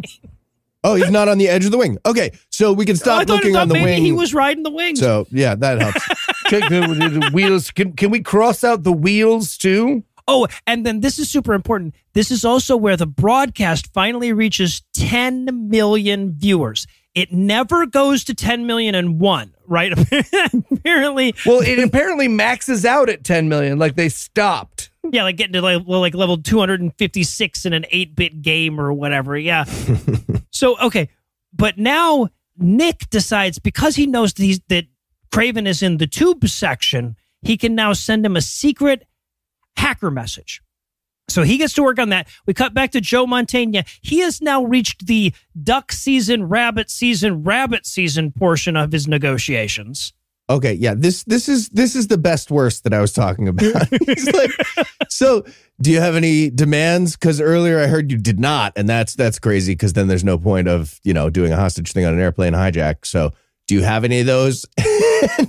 Griffin's like, I'm. Well, I want you to to die. I don't like you. Like, cool, cool. That doesn't really Yes. help you. Not, we're not getting do you, anywhere. do you have anything else that. like pizza? Do you want to? What do you want? What do you want? He's so unmoved and bored by that. He's like, yeah, I guess those are your lines in the movie. Ugh. Someone say cut? Anyone say quat? No cut. Right. And, but then Joe Mantegna tries to like talk him down from just Mhm. doing anything bad. He's like, just, you know, consider the people around you. I want you to look into the eyes of the people around you. Just look at those people. And they show us those people. So I wanted evil fake Craven to be like, uh, I see, I see, like, I don't know, it looks like the cast of Godspell at a funeral or something. I don't know. Are you really trying to save these people? And then he's like, but okay, so, but what if I, and, and here's just hear me out. What if you just didn't? Like all the stuff that you're doing, what if you just instead didn't? And Craven's like, that's the, is that really the best you've got, man? Because I feel like there's, you're supposed to build a rapport or Does something. your character have anything better? No, my, my, my character just. I don't know what's going on. Call me back in like five minutes. I'll think of some. I have. I might have a demand then. I don't know. Could you check out my uh, my organization's website? It's uh, it's a long one. Okay, HTTP. It's 2001. So, www. Yeah. So and and then Satan finally dot fun For the- fun. for the first time in the whole fucking movie, we get a little of that titular turbulence, right? The plane shakes a little bit, and this is where cameraman decides that he's going to go on the offense and he attacks fake Craven. This is where, luckily, fake Craven's wig falls off, and we can finally tell the two characters apart easily. Right. And once again, again, I just have to point out he attacks fake Craven, and everyone else in this crowded room is like, rooting for you, buddy. I really wanted the other guy to be like, oh, yeah, no, I tried that already. I tried the wrestling again thing. Well, not everybody, right? Because fake Craven drops his gun, and Erica, the interview girl, picks up the gun. So now she's got it, and she points it at Craven, and she shoots not Craven, but the bandmate that's trying to help take him down. Damn it! Turns out she's a bad guy the whole time. Oh my God, she's on the evil team. She's been eye steepling this whole time, and she's bad. no way. Okay, wait. She could not be more evil. So wait, let me let me just doodly do over to Satanist headquarters. All right, guys. So here's the plan. Jill, I'm gonna need you to get a job with a local news organization covering music venues, and then I'm gonna need you to get really fucking lucky. yeah, Steve, You're Dude, gonna I'm become an airplane be- yes, pilot. right? And get assigned to this fucking plane. It gets dumber and dumber as we go. Yeah. You get a job in the mailroom, you work your way up. We're going to do our plan in like six years. and and I'll get famous as a musician. Yeah, right. So all right. But but now but now Erica can go full fucking antagonist, right? Because apparently the 10 million viewers was what they were waiting for this whole time. Once they got to 10 million viewers, they could do their their evil plan. Right. Be- because of an old prophecy that said one shall lead 10 million somewhere. Yes. That's some sort of satanic thing. Yeah. That was a reference to internet downloads, it turns out. Yeah. Really wanted a flash cut to Satan in hell being like, damn, I should have done a Mr. Beast thing. That would have been way easier. Okay. Regardless, you have to adjust for inflation with old timey prophecies like that. Ooh, like 10 yeah. million was like way more than all the people when they wrote that down, probably. Right, yeah, exactly. That was twice the population of the Earth back then. Yes. and I love so at this point, Kate calls Joe Mantegna and she's like, Yeah, we've got a lot of information I should have given you in a in a much more timely fashion. So she tells all of this stuff to him. And then Joe Mantegna has to say it back to her. And this is a little like a trick that writers do, you know, where they'll have a character in the movie say out the stupid ass fucking plot out loud as if to tell the the viewer, yes, I hear it too, man. God damn it. I wish they Yeah. gave me money and my kid is hungry. the iced tea effect, if you will. Yes, right, exactly. So he's like, wait a minute. Are you telling me that a real Satanist kidnapped a fake Satanist and is now going to use an airplane full of fake Satanists to open a real hole for the real Satan? And she's like, "Yeah, that is the fucking plot that we went with, I guess. And we're going to have a hacker that you've just arrested guide a rock, the real rock star through the plane with his hacking plane abilities. Yeah. He's going to guide him Morpheus style. to kill the hijackers. Yes. Marilyn Manson is going to die hard this plane. Yeah. it's the plot of. Okay, but just to be movie. clear, that's just like keep going straight, still straight. It's a tube. So Yeah, there's plane. the I'm guiding you through There's, there's a two. plane, I mean, I guess you can go backwards. You're going to want to be in the plane part of the plane. Look behind you. Nobody there. Go the other way. Done with directions. You know that Air Force One was a movie because Air Force One isn't just one big tube, right? That's why it was a movie. so, so then we get Rutger Hauer, who we've hinted that is he's it like a bad guy as well. But now we have to make that explicit. He comes out and he gives Eric a quick smooch, as if to say, "I'm on the on the plan as well, and I wouldn't take this part unless they let me kiss a pretty girl that's my granddaughter's age." God, that's fucking rough for this actress. Yeah, you can see her be like, okay, come on.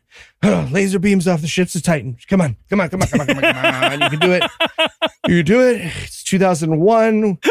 Me Too hasn't happened yet. Things really suck for women. You could kiss Rutger Yeah. Hauer. Oh, that wasn't worth it. Oh, oh, not worth it for a made-for-TV movie. All right, so but now fake Craven goes to fetch real Craven, but real Craven is ready for him. His plan was punch him real hard in the head.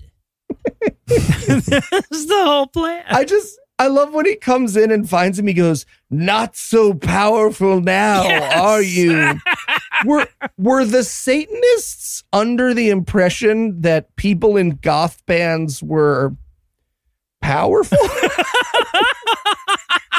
I can't tell you a room I feel safer in than a room full of goths, right? yeah, right. If there's a room to have a panic attack in and be taken care of, it's a room full of Right, goth yes. kids. Have you met goth kids? They want to watch Nightmare Before Christmas and be left alone. So, so yeah, so he gives him his little evil bad guy monologue, and he goes to get him, and then Craven punches him. Keep in mind, there's a goddamn box cutter in this room, but no, but he punches him instead, and then they get into a fight. While they're in a fight, fake Craven's gun gets knocked into a gun-sized crack. okay. I laughed so hard at this. so hard. I laughed gun- for a while. The gun slides into a gun-shaped cartoon hole somewhere. Yes, right, yeah. Yeah. And then and then he he like paws at like a dog who can't get the toy under the thing. pause at it for a while. And however, the best. however long you're thinking this actor spends trying to get this gun, it's three times longer than however long you're a man. He might as I thought we were gonna watch him get like a coat hanger and stretch it out. and- oh, Put some gum oh on no, it. no, it's just spinning it in a circle. I need a I need leverage. If I could get okay, I'm gonna attach this to a shoehorn and then I'm gonna lever it over. Oh, it's gone. It's longer than Peekaboo waits for the laser to come back out. Uh, yeah, it's it was amazing. That said, how amazing would it be if at the end of this movie, in a Deus Ex Machina, that gun in the air ducts just went off and killed one of the bad guys? All right.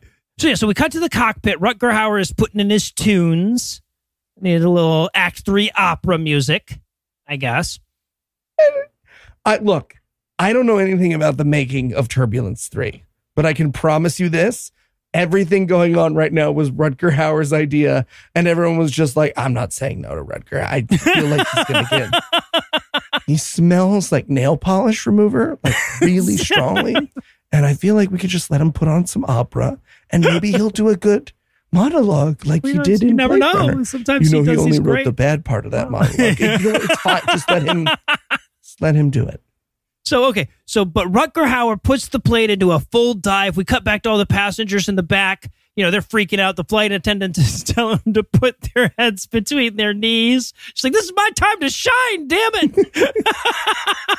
And they're like, Craven, Craven.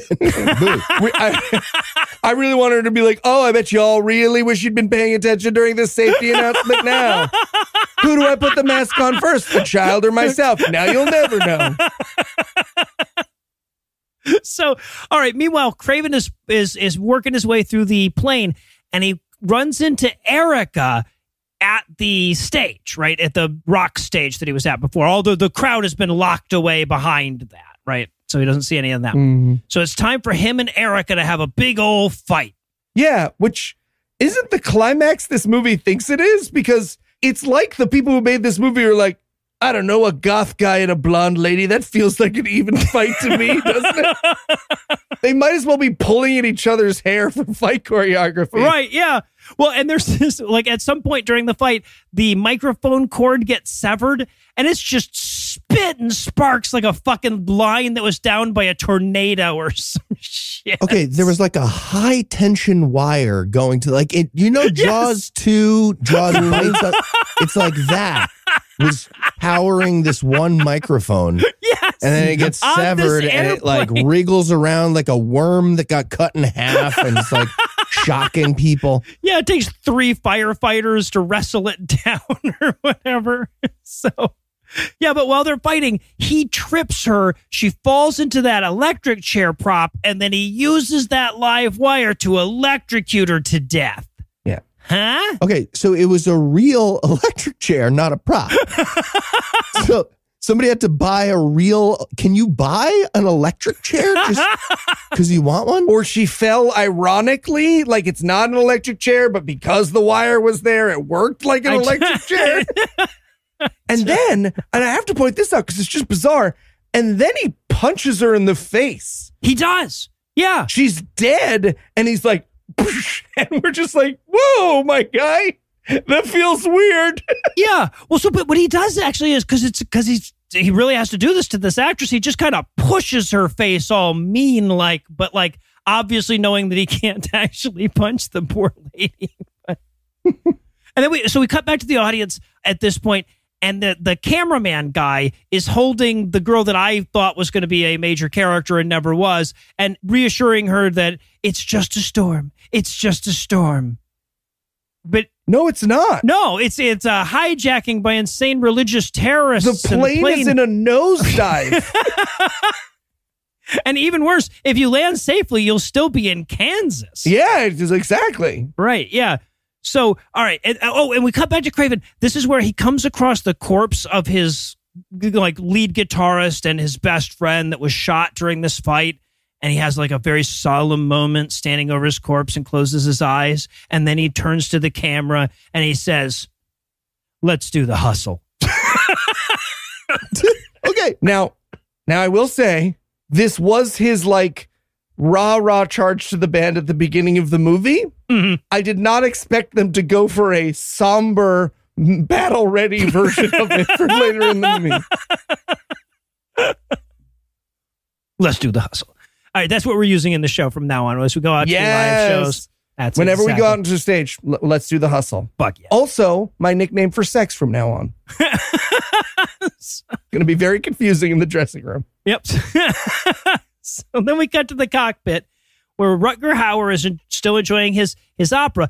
Craven bursts in and then and then realizes he doesn't know how to fly a plane, so like threatening to shoot this guy is not a great like tactic at this point. Yeah. Especially considering that then Rutger Hauer then pulls out his own gun. We're now at three guns, Yes, by the way, if anyone's keeping count. Three guns. Pulls out his own gun and shoots himself? Yes, Yeah. Right. Now you can't make me land the plane. He shoots himself to guarantee that he he wouldn't get talked into landing safely by the good guys. So yeah, and now okay, keep in mind that this plane is in a nosedive, right? So like, I, he doesn't know how to fly a fucking plane, but I feel like I could figure out. Well, first we level it off, Yes. right? Okay, well, Noah, do you have um an Atari joystick? Let's be clear. He begins the process of trying to fly this plane without once going back to the cabin full of people where there are two stewardesses, by the way, to say, Does anyone know how to fly a plane? He's like, Well, I'm in the room and Rutger Hauer just shot himself, maybe in real life. So, yep, I guess I've got to fly the plane. Yeah, well, not for a long fucking time though, right? Because we cut back to Nick and Kate in the in the hacker den or whatever, and she's like, "Who's going to fly the plane?" And I'm like, "The question is who's going to level off the fucking plane, and then we'll deal with who's going to land the fucking thing." But just then, Nick pulls out his goddamn joystick, and he's like, "I'm going to land the plane." And we're like, fucking what? I love it, but what? Seriously. He's like, all right, no, no, no. Hear me out. I, I, I do have this Atari joystick. It's a pretty sweet one. I put some mods on it. and then FBI lady Kate, she calls her boss and she's like, Hey boss, uh, the hacker criminal says he has an Atari joystick, so that's the new plan. Okay, bye. And the boss is like, you can't land a plane with an Atari joystick. And she's like, yeah, I, I mean, like plot wise, you wouldn't think so. Could the FBI not get like a real pilot to give advice on how to land a plane? Oh, What's so amazing is that we get one of those. Yeah, They He remember shows it up later in late the to movie. Yeah, Yeah. He shows up late to the like four minutes before the movie end. The only African American speaking character in the entire film shows up, and he's like, "Hi, I'm the pilot here to." T- oh, you've already done it. Oh, you got it. You had an Atari How joystick. can I be late oh, for the movie? well, in that case, yeah. How am I late for a movie that you're writing? Just stop writing. So, yeah, but we haven't met him yet. That's Fletcher. We're going to meet him in a minute. But right now, Nick gets on the horn with Craven and he's like, Yeah, man, you're going to have to level off the plane. And he's like, Curiously, I did not figure that out on my own. So we have this whole like, you know, he's got to level the plane, but can he pull it back hard enough? Okay, yeah. So step one, what I want you to do, I'm an expert on this from uh, my Atari uh, work. I want you to aim away from the ground. Are you going towards it right now? aim further away from it. I am, yes. Oh, that's why you're the super genius character, I guess. Right, but it it becomes a test of strength. I feel like airplanes have power steering. No, Thank you, Heath. Heath, you took the words right out of my mouth because because I will say I've seen this trope in a lot of movies now, and I feel like if it is the case that you need to be a certain amount of strong to pull a plane out of a dive, we should undo whatever that mechanism is. Yeah, right. Exactly. get a lever in there or a pulley or some kind of Yeah. mechanical advantage. Yeah, exactly. So yeah, so and then, then we cut to the ground where they're mobilizing emergency vehicles. I, I have no fucking idea where they would be mobilizing them to. I guess they read ahead in the script or something. We got Nick and Kate just hacking as hard as they can. I don't even know what the fuck they're going for, right? Where he's like, you know, but you need to hack into the snarfle farf. And she's like, but that would be immoral to hack into the snarfle farf. Oh, okay, I'll hack into the snarfle farf. They, they have that whole moment, right? She okay. To be clear, here's what that moment is. She's like, "Oh, that would be illegal. I can't do it." And he gives her the like please eyes. Like Yeah. you might as well say ooh woo. And she's like, oh, you know, I can't say no to you, criminal who I just met. We're love interests. Yep. What a weird thing somehow- for this movie to choose to do. Somehow we are. Yeah. uh-huh. And so, but he gets on the horn with Marilyn Manson or whatever, and he says, All right, so all you're going to have to do is just punch in the coordinates, and the autopilot will land the plane for you. I'm pretty sure that's not right. I don't know No, a lot no, about landing planes, but I'm look. pretty sure that's incorrect. Look, we take a lot of the piss out of pilots on this program. We Gam has been accused in the past of being anti-pilot, but even we know that you can't just punch in where you're going and the plane lands itself.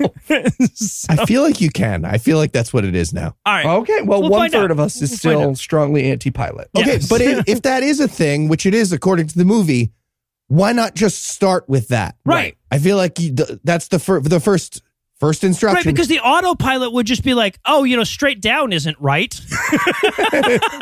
yes. I feel like that's the first line of code for the autopilot is like aim away from ground if facing ground. Right. Yeah. Yeah.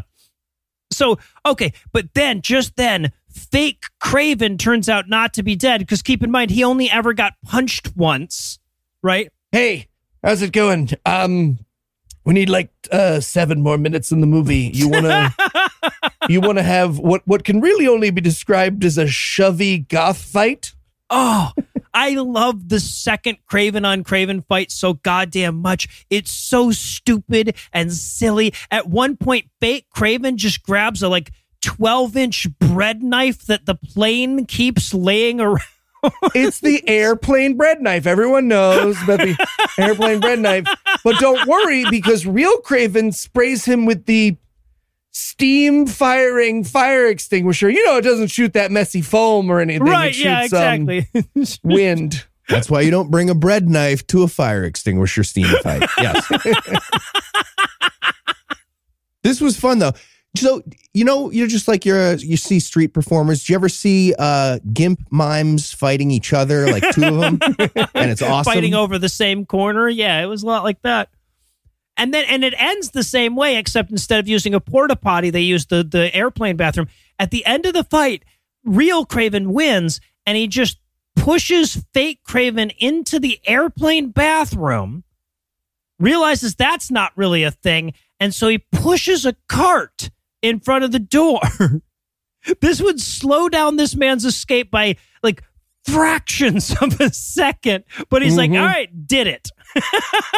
He just lines up an apple cart. Say, okay, when he opens it up, this will probably block him for he'll trip over it. It made Probably. him probably explode. I really wanted him to open it from the inside, which is how bathroom doors open, just be like, this is nothing. I'm just moving It's a pocket door. Sorry.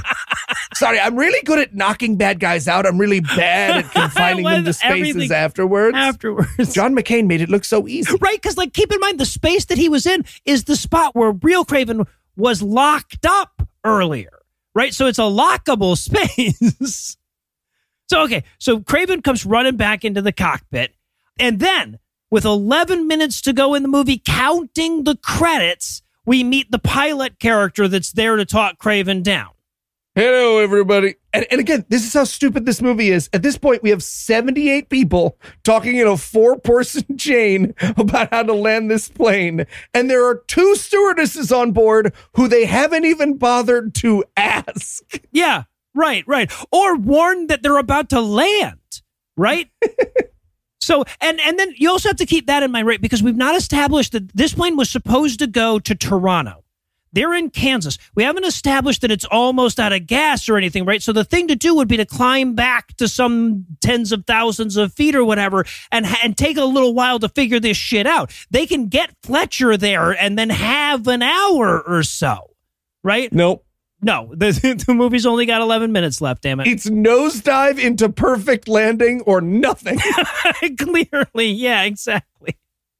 So we get, and then Fletcher realizes that the relationship between Nick and Craven is now so well established that him and all his expertise would actually just get in the way of Nick and his Atari joystick and their power to see through Craven's feeling.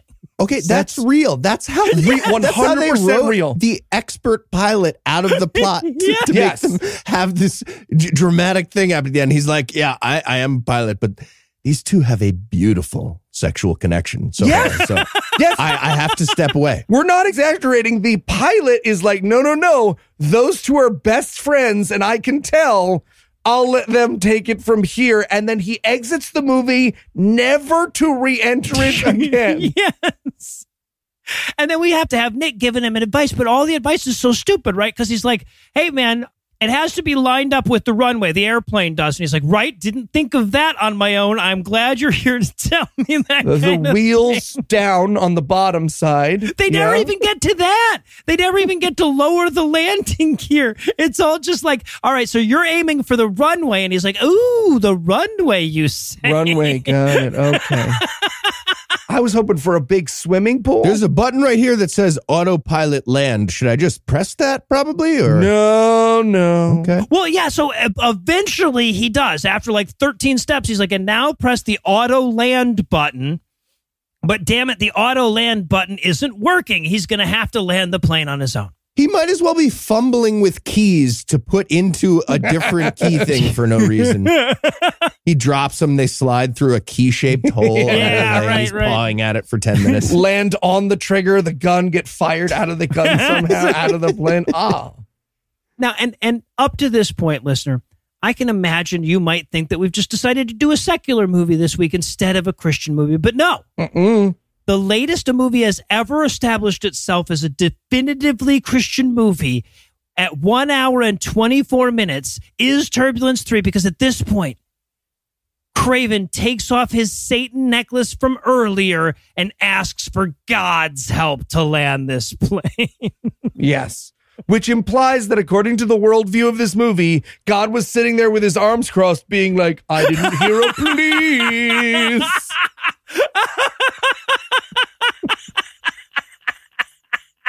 Trust me, this movie comes out in September of 2001. I'm ignoring a lot of plane crashes this year. Jesus Christ. Yeah, so the, yeah, so we get some more like, you know, landing words, piloty words. He goes at one point, he's like, Nick is like, hey, Craven, you have to keep the crosshairs into a perfect cross. And I'm like, oh, and only a Christian could do that. But luckily, But then the hackery guy is like, You're still too low. And I wrote in my notes, To land? are you subterranean now?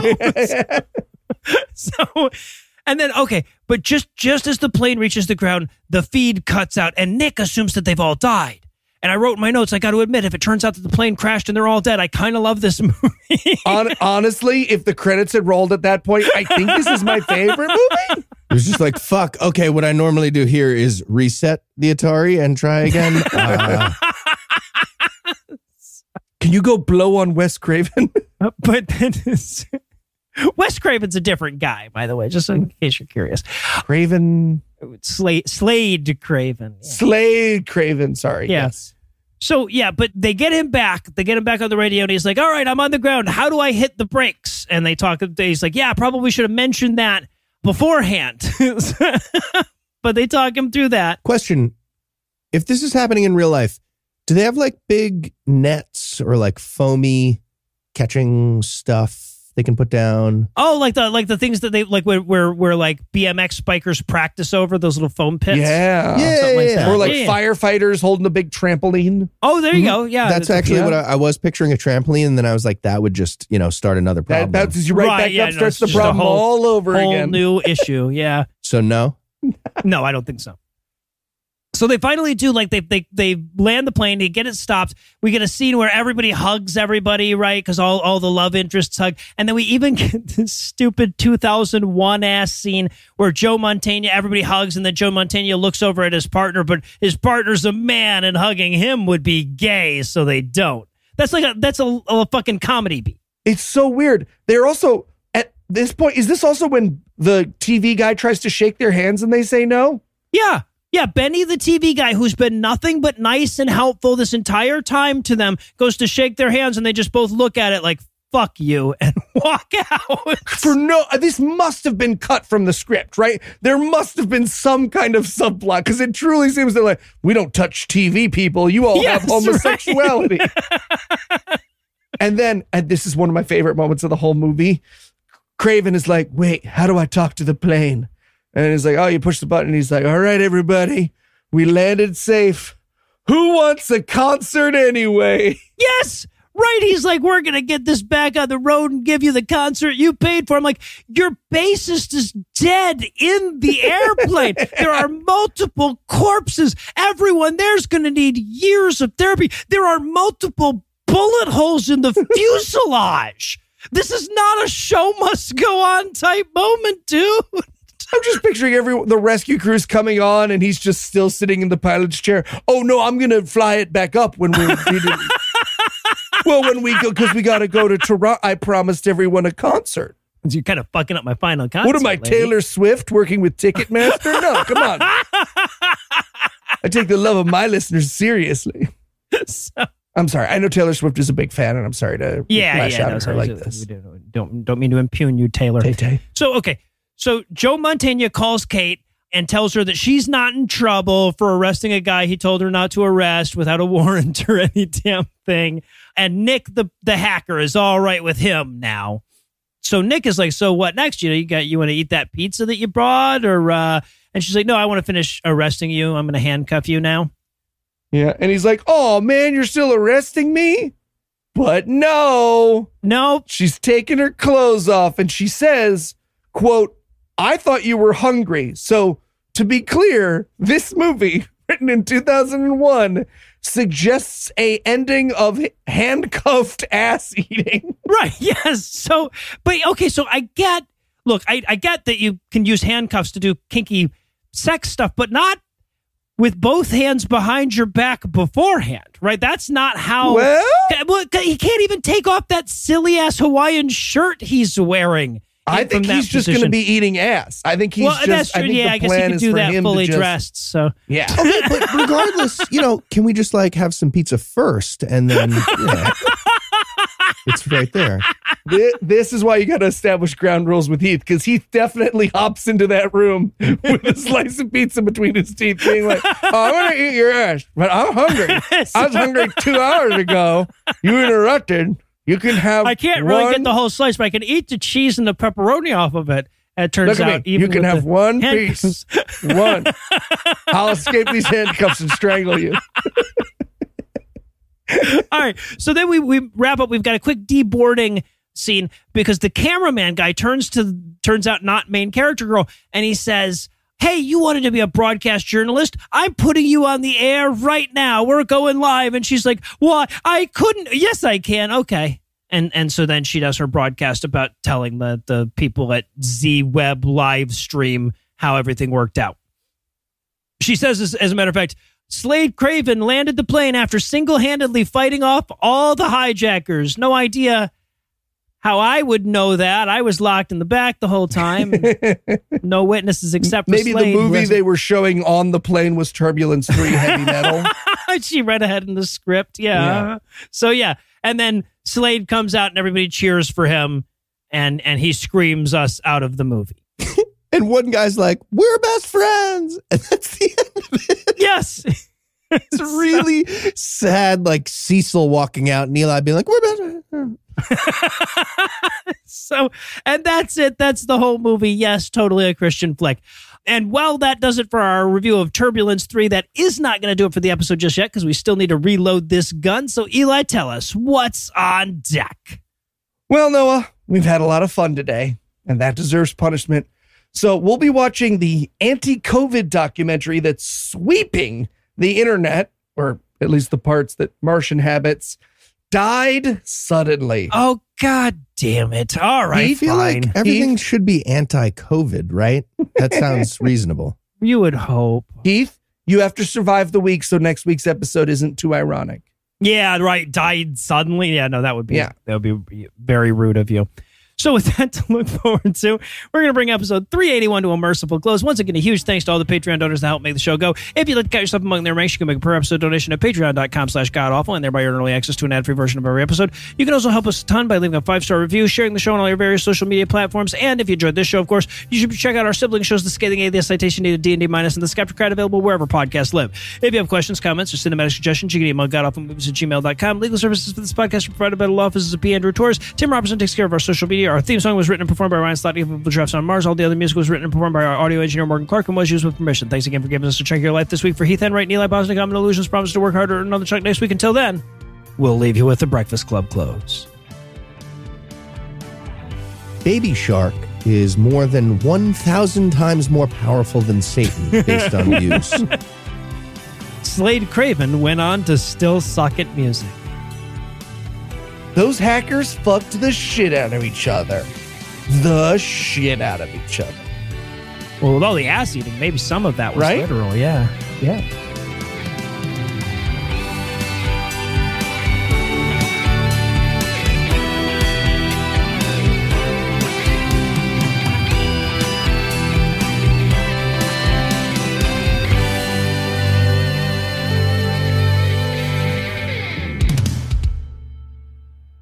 Okay, can I just? I, I want to be the first to say that. Um, you know, I, I I hope you get over your COVID quickly and everything, Heath. But your COVID voice is sexy as fuck. It's pretty sexy. I just nice. It's actually it's sexy and it's upsetting because I also have a gravelly voice right now, but it's not sexy. It's like I got the not sexy version of COVID voice, clearly, clearly. but I don't have COVID. All right, and this is interstitial two, It's silty. Would it be silty? silty. Yeah, Yep, there you go. The preceding podcast was a production of Puzzle and a Thunderstorm LLC, copyright 2022, all rights reserved.